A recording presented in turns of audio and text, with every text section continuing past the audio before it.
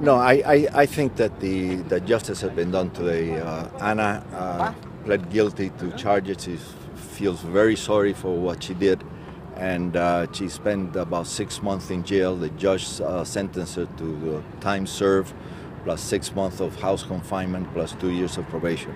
I think it's a fair sentence, and she uh, uh, admits that it's a fair sentence. So I think that uh, it's a good that this day has come, has passed, and she'll turn the page and go forward. What do you hope happens to David Rivera? I, I have no opinion on that. That's up to the uh, U.S. Attorney's Office and the courts. Uh, but it's a happy day for your family. Absolutely, absolutely. Thank you. Thank you. so Thank you.